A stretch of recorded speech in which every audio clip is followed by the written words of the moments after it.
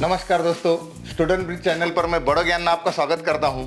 और आप जानना चाहते हैं, ये पीछे वाला बैकग्राउंड कैसे चेंज होता है? ये बैकग्राउंड मैं किस तरह से चेंज करता हूँ? तो चलिए दोस्तों, फटाफट शुरू करते हैं आज का ये वीडियो बिना वक्त गवाए।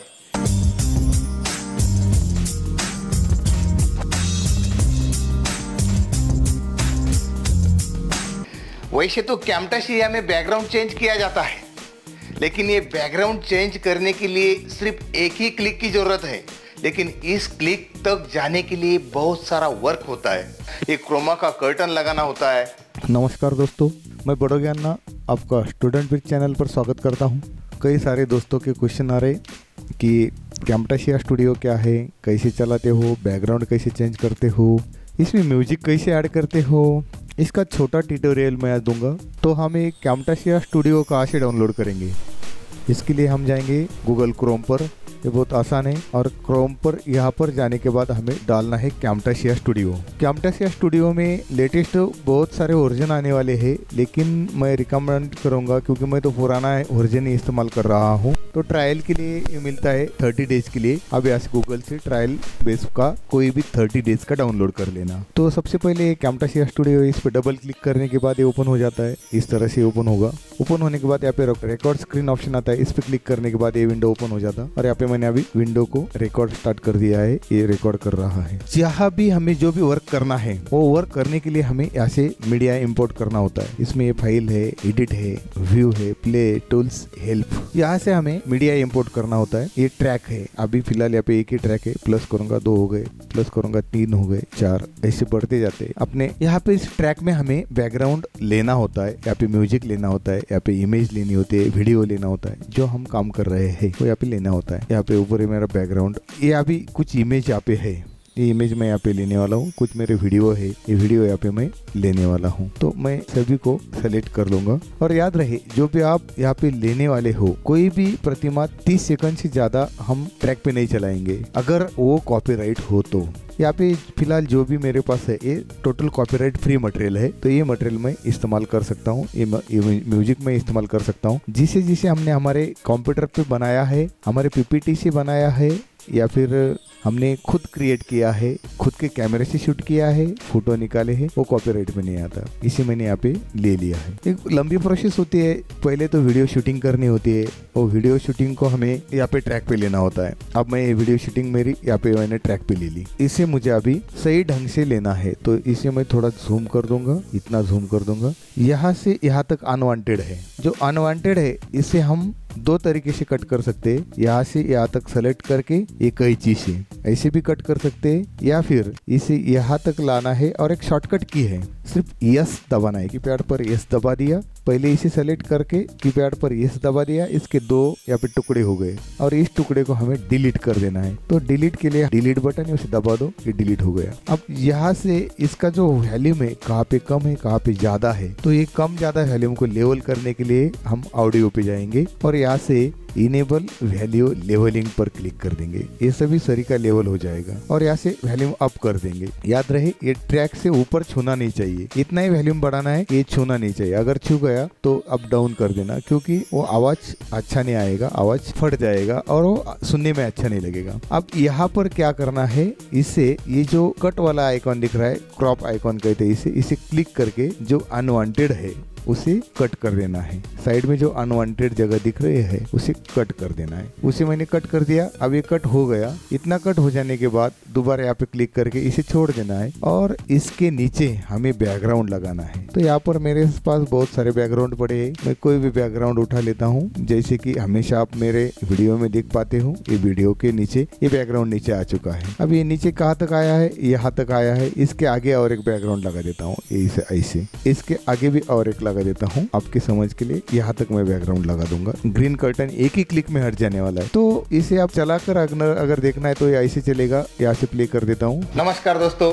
स्टूडेंट ब्रिज चैनल पर मैं बड़ो ज्ञान आपका स्वागत करता हूँ। अभी मैंने चला के दिखाया। अब इसके पीछे का मैं बैकग्राउंड हटाता हूँ। तो बैकग्राउंड हटाने के लिए आपको यहाँ पे जाना है मोर ऑप्शन में। मोर ऑप्शन में यहाँ पे नीचे है विजुअल प्रॉपर्टी और विजुअल प्रॉपर्टी में इधर जाना है आपको remove a colour remove colour करने से पहले याद रहे, इसे सेलेक्ट कर लेना है। इसे आप, मैंने सेलेक्ट कर लिया है। ये सेलेक्ट हो जाने के बाद ये थोड़ा स्काई ब्लू हो जाता है। तो विजुअल प्रॉपर्टी में यहाँ पे रिमूव कलर पर क्लिक करने के बाद यहाँ पर आने वाला है कलर ऑप्शन और यहाँ से हमें एक कलर को सेलेक्ट करना है। सेलेक्ट करने के बाद जहाँ पर हमारे हमारा जो कंधा है कंधे के लगभग पास में हमें यहाँ पर क्लिक कर देना है। ये क्लिक करते ही हमारे पीछे वाला पूरा बैकग्राउंड यहाँ पे निकल चुका है। अब ये कैसे दिखता है हम देखेंगे। नमस्कार दोस्तों स्टूडेंट ब्रिज चैनल पर मैं बड़ो ज्ञान आपका स्वागत करता हूँ। तो इस तरह ये बैकग्राउंड निकल चुका है। इस तरह से बैकग्राउंड निकालते हैं और इसमें अगर हमें कुछ टैग लगाना है थोड़ी कुछ ये झलक लगानी है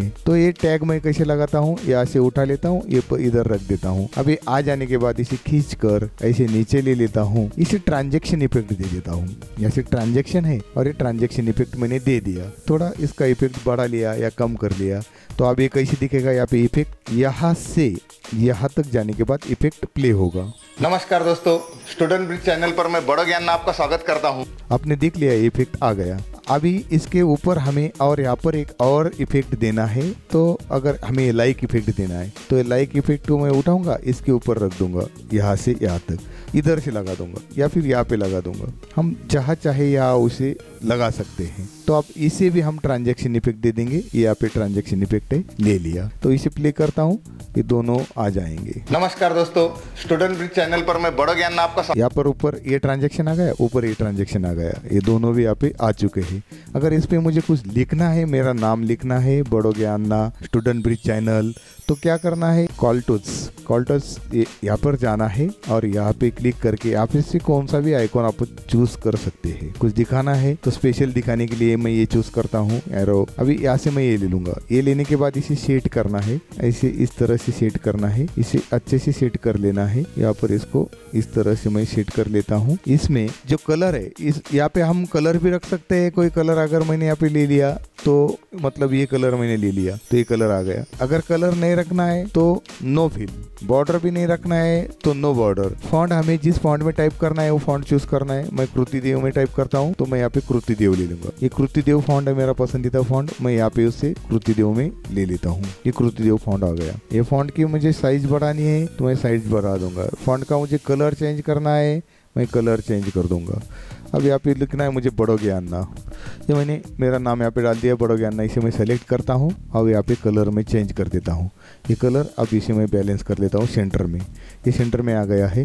और हाँ यहाँ पर नीचे ये जो ट्रांजेक्शन है, यहाँ से हम ट्रांजेक्शन चेंज भी कर सकते हैं। मतलब यहाँ भी स्लो ट्रांजेक्शन आएगा, हम जैसे जैसे चलेंगे वैसे वैसे वो आगे आएगा। तो इसे हम बढ़ा भी सकते हैं और कम भी कर सकते हैं। मतलब हैंड राइटिंग जैसा ये नीचे बढ़ रहा है और कम हो रहा है। ये ट्रांजेक्शन ये बढ़ चुका है। अब इसे मैंने कम कर दिया है तो ये ट्रांजेक्शन निकल चुका है। मैंने यहाँ से माइनस कर दिया तो अलग से भी ट्रांजेक्शन में लगा सकता हूँ। मतलब हैंड राइटिंग जैसे लिखने वाला चाहिए तो मैं ये नीचे वाला ये ट्रांजेक्शन लगा दूँगा। यहाँ पे ये नीचे ट्रांजेक्शन है? ये लगा दूँगा और इसे थोड़ा बढ़ा दूँगा। तो अभी धीरे धीरे एक एक अक्षर यहाँ पे टाइप होकर आएगा। मतलब जैसे हम हाथ से लिखते हैं वैसे ये लिख कर आएगा। थोड़ा यहाँ पे आपके दिखा दिखा आपको दिखने के लिए इसे मैं और बड़ा कर देता हूँ। ये मैंने सो कर दिया और इसे बैलेंस कर दिया। अब यहाँ से मैं प्ले करके दिखाता हूँ। नमस्कार दोस्तों स्टूडेंट ब्रिज चैनल पर मैं बड़ो ज्ञान आपका स्वागत करता हूँ। देखिए इस तरह से ये अभी बैकग्राउंड चेंज हो गया है। यहाँ से एक राइटिंग में लिख कर भी आ रहा है। यहाँ पर मेरा अभी यहाँ से इसके पहले मैं कोई ट्रांजेक्शन इफ़ेक्ट या म्यूज़िक डालना चाहूँ तो इस पर मैं म्यूज़िक भी डाल सकता हूँ। अभी देखेंगे हम एक म्यूज़िक मेरे पास है विदाउट कॉपीराइट वाला। ये म्यूज़िक मैं यहाँ पे ले लूँगा। म्यूज़िक लेने के बाद हमें दोबारा यहाँ पे म्यूज़िक आइकॉन पे, ये ऑडियो पे जाना है। इसे इनेबल कर देना है। इसकी लेवल अच्छी करके। इसकी, इसे कम करना है। मतलब मेरे आवाज़ से ये म्यूज़िक कम होना चाहिए। तो इसे 20 परसेंट, बाईस परसेंट कर देते हैं। अभी मैंने इसे 22 परसेंट कर दिया है। अब सुनेंगे। नमस्कार दोस्तों स्टूडेंट ब्रिज चैनल पर मैं बड़ा ज्ञान आपका स्वागत करता हूँ। म्यूज़िक आप अपने हिसाब से बढ़ा भी सकते हैं, कम भी कर सकते हैं। मैं थोड़ा बढ़ा के आपको दिखा दूँगा। नमस्कार दोस्तों स्टूडेंट ब्रिज चैनल पर मैं बड़ा ज्ञान आपका स्वागत करता हूँ। तो इस तरह से ये म्यूज़िक भी चेंज हो गया। नॉइज़ भी निकल गया और इसमें ये बैकग्राउंड भी चेंज हो गया। अगर कोई इमेज भी ऐड करनी है तो ये जो इमेज पड़ी है मतलब मेरा ये लोगो है स्टूडेंट ब्रिज का तो मैं हमेशा इसे इस्तेमाल करता हूँ। तो इस लोगो को मैं क्या करता हूँ यहाँ से क्रॉप्ट कर लेता हूँ ऐसे थोड़ा कट करके और इसका जो अंदर का यहाँ पे ब्लू कलर है उसे मैं यहाँ से विजुअल प्रॉपर्टी से जाके निकाल देता हूँ। विजुअल प्रॉपर्टी में जाना है रिमो कलर में जाके यहाँ से ये कलर मुझे रिमो कर देना है। ये रिमो हो जाने के बाद इसे मैं उठा के इस जगह पे लगा दूँगा। ये यहाँ पे मेरे चैनल का ये लोगो है, अभी यहाँ पे मैंने लगा दिया। अब लोगो भी लग गया। फ़ोटो लगाना है तो फ़ोटो लगा सकते हैं फ़ोटो में ट्रांजेक्शन इफ़ेक्ट दे सकते हैं।